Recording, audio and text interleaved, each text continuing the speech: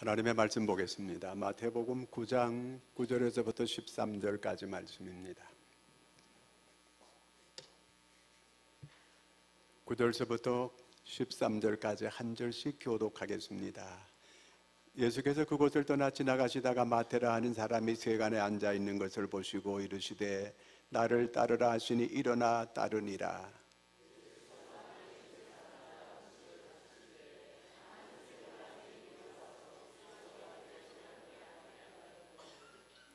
바리새인들이 보고 그의 제자들에게 이르되 어찌하여 너희 선생은 세리와 죄인들과 함께 잡수시느냐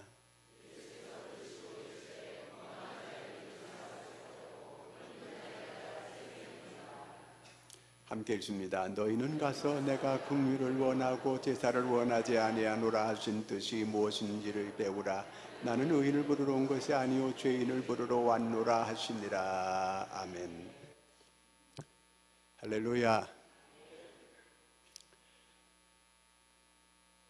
얼마 전에 신문에서 제가 서울 송동구에서 초등학교 6학년 아이가 8층에서 뛰어내려 가지고 자살한 이런 기사가 난 걸 봤습니다. 반 아이들이 자기를 집단 폭행하고 성추행하고 그래서 견디지 못하여 자기가 그 이 자살한다고 하는 이런 내용이었어요. 대구에서 심장 판막증을 앓는 고등학교 1학년 학생인데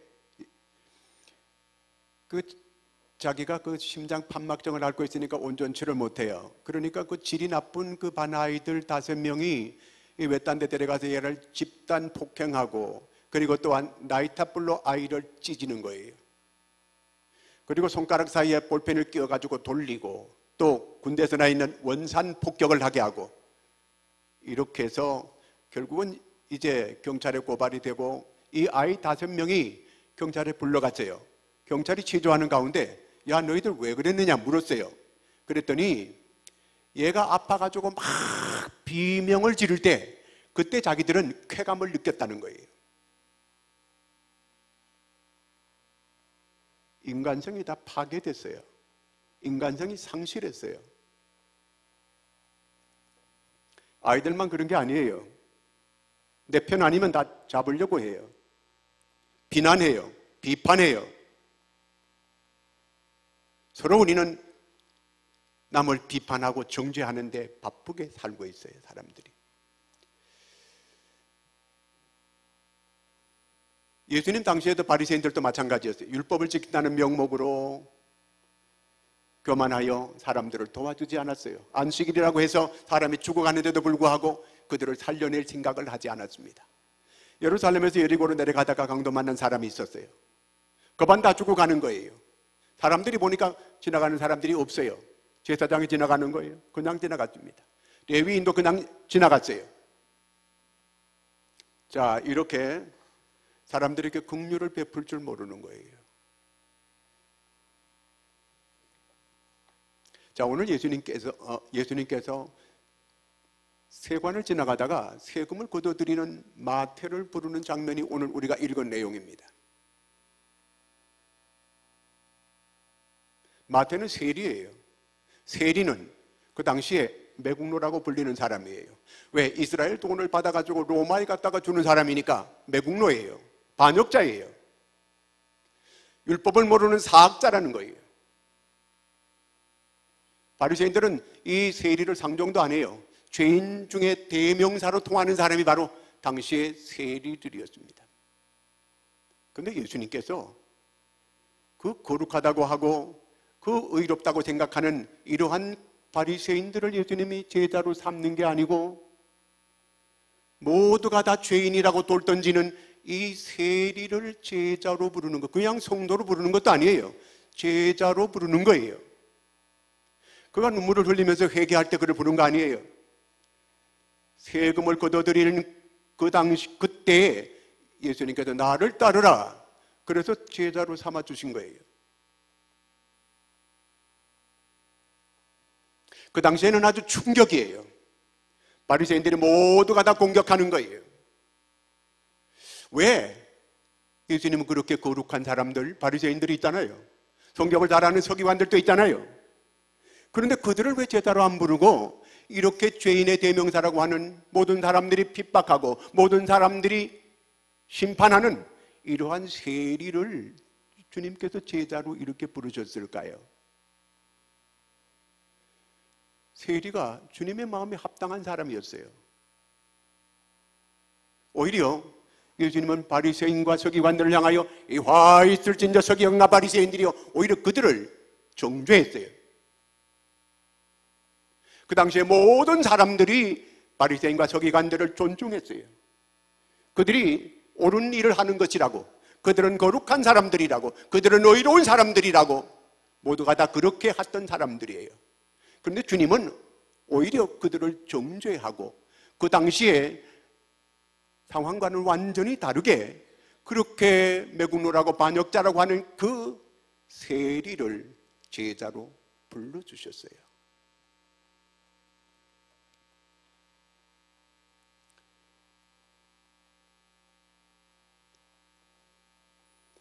세리는 너무 감격했어요. 어떻게 자기를 이렇게 주님의 제자로 불러주는가? 너무 감격해서 잔치를 베풀었어요. 그 원손님들이 누구겠어요? 전부 세리들이에요. 근데 예수님께서 주빈으로 초청받아서 세리의 집에 가서 함께 같이 잔치를 먹게 되었습니다.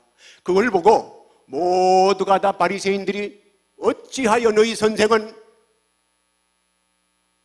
저렇게 죄인의 집에 가서 죄인들과 함께 같이 먹을 수 있느냐 이렇게 핍박하는 거예요. 그때 예수님께서 나는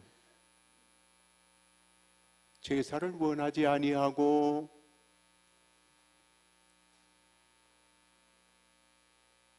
무엇을 원한다는 거예요? 긍휼을 원한다는 거예요. 예수님께서 바리새인 그 이 세리의 집에 간 것이 그게 바로 긍휼이에요. 제가 긍휼이 뭔가 사전을 찾아봤더니 가여워서 도와주는 게 긍휼이라고 이렇게 나와 있어요. 가여워서 도와주는 거예요. 연말이 되고 성탄절이 되니까 여기저기에서 손 내밀고 도와줘 달라고 하는 사람들이 저에게는 얼마나 많은지 몰라요. 좀 다 도와주고 싶은데 제 한계가 있어요.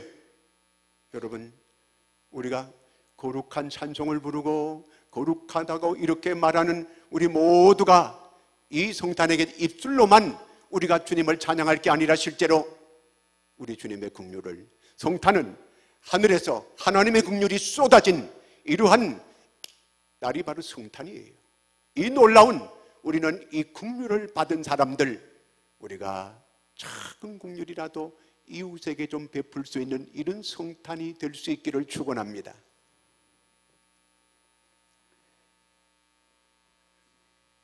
베토벤이 너무너무 어려웠어요. 자기 동생은 투기를 잘해가지고 돈을 많이 모았어요. 이 베토벤이 너무 어려워서 동생한테 부탁을 했어요. 내가 너무 어려워서 그러니까 나 조금 도와줄 수 없겠니? 그랬어요. 그랬더니 동생이 하는 말이 가난도 형님이 책임져야 됩니다. 가난도 형님의 몫입니다. 그러면서 거절했어요. 베토벤이 아주 실망을 했어요. 도와주지 마라. 나한테 더 이상 설교도 하지 마라.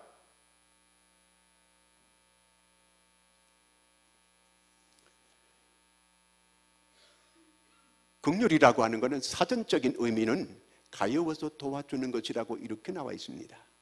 그 다음에 구약에서 극률이라고 하는 말은 라밈이라고 하는 뜻입니다. 불쌍히 여긴다는 뜻입니다. 라밈의 이 어원은 레헴이라고 하는 뜻인데 어머니의 자궁이라고 하는 그런 뜻이 있습니다. 어머니의 자궁 안에서 이 신생아는 모든 걸 다 공급받습니다. 거기에서 모든 영양을 공급받고 거기서 모든 도움을 다 받게 됩니다. 자, 바로 이게 긍휼이라는 거예요. 신약에서는 스플랑크논이라고 하는 이러한 말이 불쌍히 여기다 긍휼이라고 하는 그런 뜻인데 그 어원은 창자라는 뜻이에요. 우리가 가끔 애간장을 녹인다, 애 끌다, 애 썼다 이런 말을 많이 써요. 애라고 하는 장자를 말하는 거예요. 예수님께서 목자 없는 이스라엘 백성들을 볼 때에 그들이 너무 불쌍하게 보이는 그래서 그들을 불쌍히 여기사 극률이 여기사 민망히 여기사 이 말은 창자가 끊어지는 그런 아픔을 가지고 자기 백성들을 바라봤다 그런 뜻이에요. 정말 우리가 이 어려운 사람들을 볼 때에 창자가 끊어지는 아픔을 느끼면서 그들을 극률하게 여길 때에 그때에 하나님의 능력의 역사가 나타나게 되는 것을 믿으시기 바랍니다. 창자가 끊어지는 그런 아픔을 가지고 내가 그런 아픔이 느껴오면서 그들에게 긍휼을 베풀려고 할 때 주의 권능의 역사가 드러나게 된다는 그 말입니다. 주님은 우리를 그렇게 긍휼하게 여겨 주셨다는 그 얘기입니다. 우리 마음속에 이런 주님의 긍휼이 있게 될 때에 이적이 일어나게 될 것이라는 말씀입니다. 유대인들은 이 긍휼을 말할 때에 이렇게 설명을 합니다. 시골에 가면은 보통 그 삽이라는 게 있어요. 이 어떤 가정에서 삽이 필요했어요. 자기 집에 삽을 쓰려고 하니까 자루가 부러졌어요. 그래서 이웃집에 빌려오라고 아들을 보냈어요. 그 아들이 가더니 삽을 못 빌려갔어요. 이웃집에서 거절했어요. 며칠 있다가 그 집에서 다시 또 삽을 빌려달라고 그 집 아이가 삽 빌려달라고 찾아왔어요. 근데 아버지가 삽을 빌려주어라 그랬어요. 그랬더니 아들이 있다 항의를 하는 거예요. 아빠, 아니 저 집에서 그에게 삽을 안 빌려줬는데 왜 삽을 빌려주느냐고. 그때 아들에게 설명을 해요. 봐라. 저 집에서 삽을 안 빌려줬다고 해서 나도 안 빌려주게 되면 이거는 복수다. 그리고 저 집에서 안 빌려준 내가 빌려주면서 투덜투덜하고 이렇게 빌려주는 거는 정오다. 그렇지만 어린아이처럼 순수한 마음으로 빌려주는 거는 그거는 극률이다. 이렇게 설명을 하는 거예요. 자, 오늘 우리의 사정으로 한번 설명을 하게 되면 우리가 차를 운전하고 가다가 갑자기 한 다른 차가 앞에 확 끼어들었어요. 내가 갑자기 놀라가지고 브레이크를 꽉 밟으면서 심장이 두근두근 했어요. 이럴 때에 성질이 나가지고 이것 이놈을 봐라. 그래가지고 나도 웽 밟아가지고 앞에 갔다 팍 차를 갔다가 앞에 갔다가 들이 딱 가로막았어요. 이렇게 하는 걸 무엇이라고 해요? 복수라 그러는 거예요. 복수. 그런데 또 어떤 사람은 저렇게 빨리 가려고 하는 거 아예 빨리 가버려라. 이렇게 하면서 말하는 거 이걸 뭐라 그래요? 증오라는 거예요. 그런데 허허 웃으면서 저 사람이 참 바쁜가 보다 이렇게 여기면서 너그럽게 이렇게 마음을 가지는 거 무엇일까요? 극률이라는 거예요. 오늘 우리가 이렇게 하는 게 바로 극률이다 그 말이에요. 하나님께서 우리를 무조건 적으로 사랑해 사랑하셔서 우리를 구원하기 위하여 하늘에서 하나님이 사람의 몸을 입고 이 땅에 오신 거 이게 극률이에요. 극률이 쏟아진 날이 크리스마스라는 거, 성탄이라는 그 얘기예요.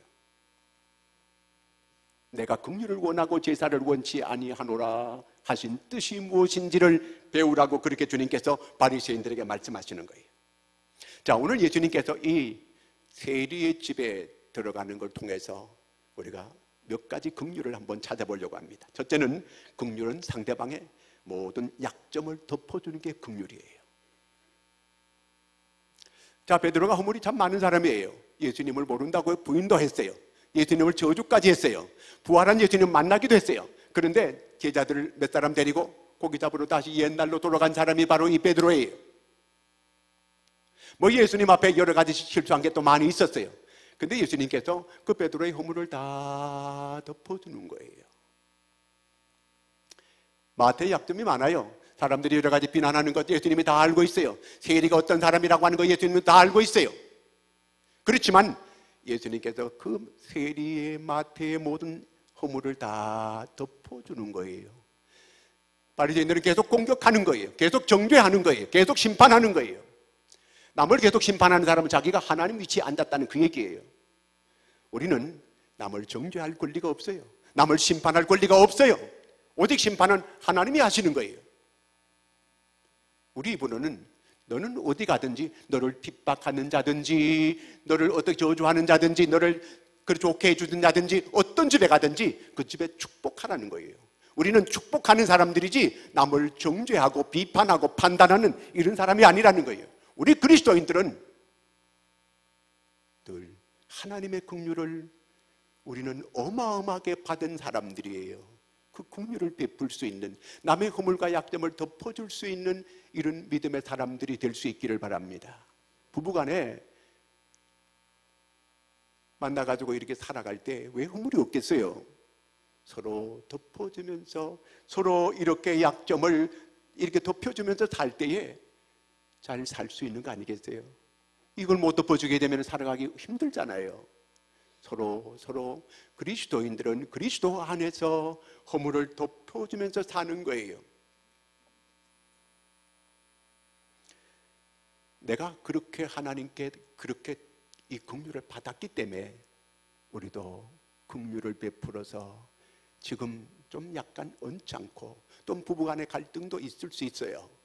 모든 내 또 구역에 또 내 믿음의 동료들 가운데에 여러 가지 허물이 보일 수 있는 거예요.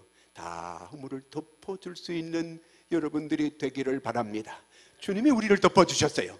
그리고 우리도 다 허물을 덮어주는 이 국률의 이 은혜가 여러분들에게 함께하기를 축원합니다. 그 다음에는 이 국률은 참고 기다려주는 거예요. 탕자가 집을 나갔잖아요. 그 아버지가 그 탕자가 돌아오기를 늘 기다리는 거예요. 아버지 재산을 가지고 나가서 그 아버지는 벌써 다 얘가 호랑방탕하게 하고 집으로 돌아올 것을 알고 있어요. 그래서 뭐 인간이 돼가지고 돌아오면은 그저 더, 더 바랄 게 없는 거예요. 재물은 그건 중요한 게 아니거든, 이게요. 그저 인간만 제대로 돼가지고 이렇게 집으로 돌아올 것을 기다리고 있는 거예요. 자, 그러면서 참고 계속 기다리는 거예요. 그 드디어 그 아들이 왔어요. 반사적으로 말하지 않아요. 반사적으로 행동하지 않아요. 우리는 너무 반사적으로 말을 해요. 반사적으로 그냥 즉흥즉흥 그냥 말하고 행동에 옮겨요.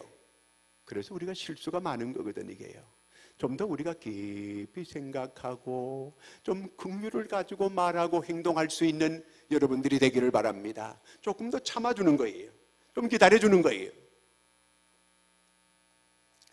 어떤 할아버지가 손주가 생겼어요. 그 손주가 너무너무 기쁘고 좋았어요. 그래서 늘 함께 같이 친구처럼 놀아주는 거예요. 근데 어느 날 중요한 손님이 왔어요. 그래서 차를 같이 이렇게 나누고 있는데 손주가 문을 열고 들어오더니만 턱 할아버지 무릎에 앉았어요. 그러더니 평소처럼 할아버지 수염을 이렇게 이렇게 만지는 거예요. 계속 그 친구랑 이렇게 대화하니까 이 아이가 수염을 갖다 확 낚아채가지고 고개를 이쪽으로 싹 돌리게 자기한테로 돌리게 돌리게 이렇게 만들었어요. 어, 할아버지가 고개 갑자기 탁 돌아갔어요. 어허, 이놈 한다. 그랬어요. 그랬더니 그 손주가 어허, 이놈이 어디하고 다르네.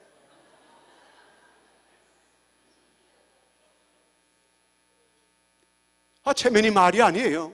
그렇지만 할아버지는 참아요. 왜? 이 아이가 크면 다 알게 될 거니까.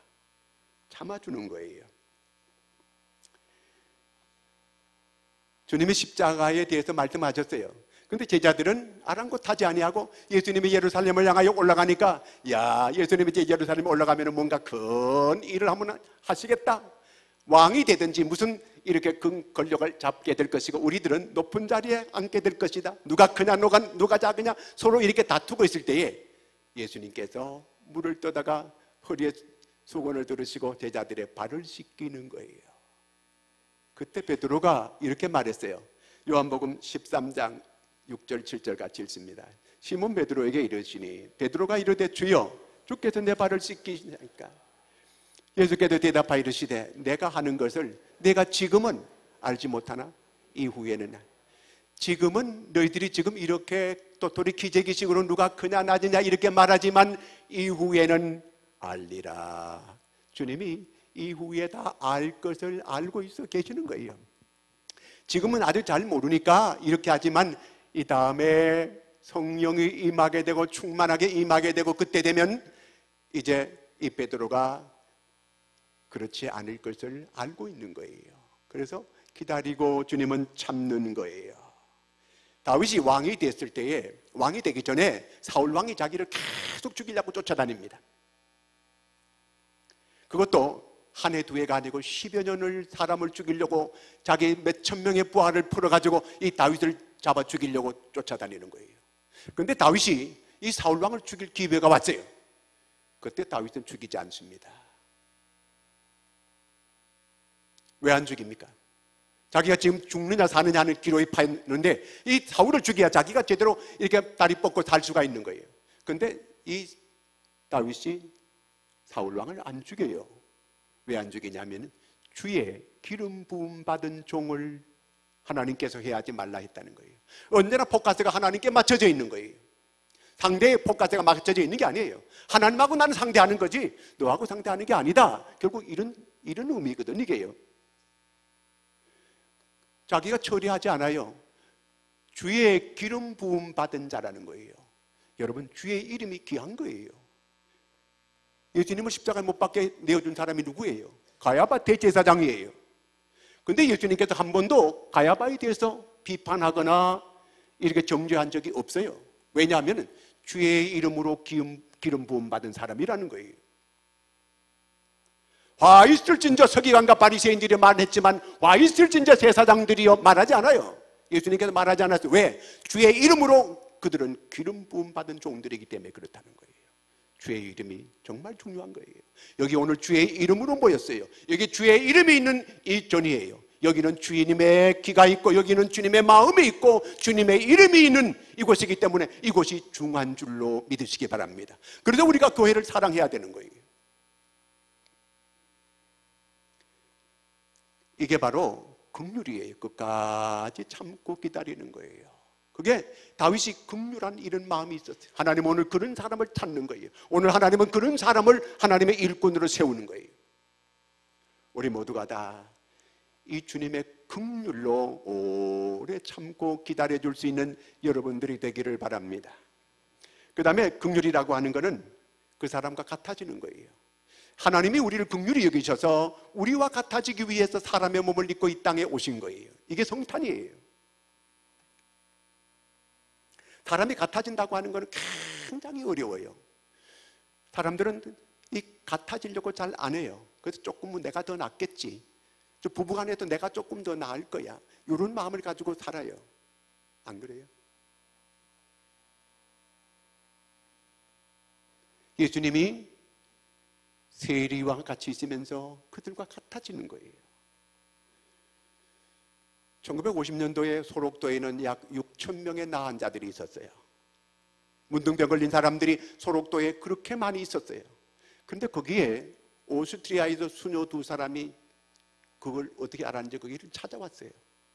그러면서 그분들이 거기 와서 살이 썩어져 들어가고 고름이 철철 흐르는 그들에게 장갑도 끼지 않고 그들에게 약을 발라주고 그들을 정성껏 돌봐주고 음식을 해서 그들을 도와주며 그들이 본국에 도는 그런 모든 이런 자기들의 그 생활비도 그들을 위하여 나병 환자들을 위하여 간식비로 쓰고 그들을 위하여 다 사용했던 거예요. 그들과 함께 나은 자들과 함께 울고 함께 같이 그들과 43년을 같이 살았습니다. 이제 그 수녀들이 해갑이 됐을 때에 온 그 소록도는 감동을 받아서 그들에게 정말 근한 이러한 해갑 잔치를 베풀려고 했지만 기도하러 간다고 그 수녀 두 사람은 자리를 떠나고 피했어요.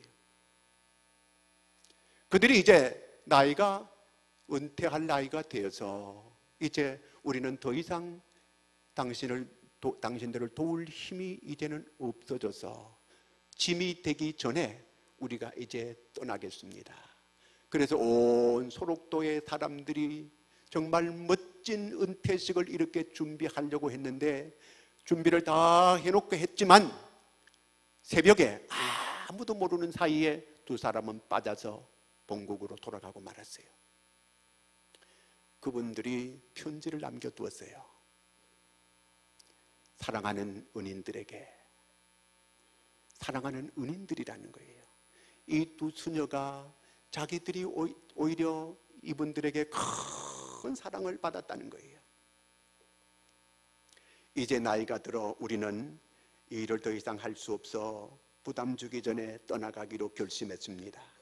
우리는 너무 부족한 사람들이었는데 너무 큰 사랑을 받았다고 생각합니다. 혹 우리가 부족해서 마음을 아프게 한 일이 있으면 용서해 달라는 이런 내용이었어요.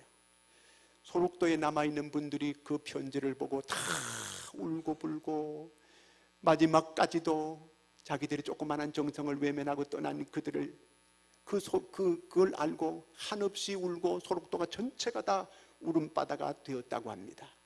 우리는 기쁘다 구주 오셨네 찬송도 하고 우리는 찬양하지만 여러분 우리의 작은 긍휼이라도 이 수녀들 같지는 못해도 작은 이 긍휼이라도 내 이웃에 필요한 사람들에게 좀 손을 뻗을 수 있는 여러분들이 되기를 바랍니다. 이 성탄에 우리끼리만 찬양하고 박수 칠 것이 아니고 정말 이 성탄의 계절에 여러 가지 도움을 구하는 사람들이 주변에는 얼마나 많은지 몰라요.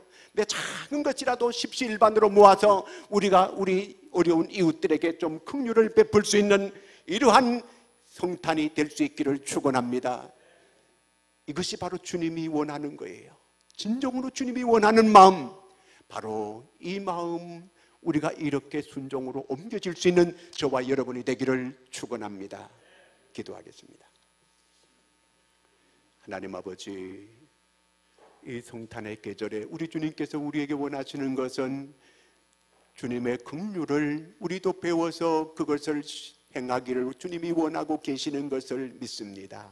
하나님 정말 긍휼이 필요한 사람들이 세상에는 얼마나 많은지 모릅니다. 우리가 아버지 하나님의 이 성탄에 놀라운 긍휼의 은총을 받은 우리가 이것을 조금이라도 이웃에게 실천할 수 있는 저희가 되게 하여 주시옵소서. 그래도 주님이 원하는 이 일을 행함으로 주님 마음을 좀 조금이라도 기쁘게 드릴 수 있는 우리 모두가 되게 하여 주시옵소서. 예수님의 이름으로 기도하옵나이다.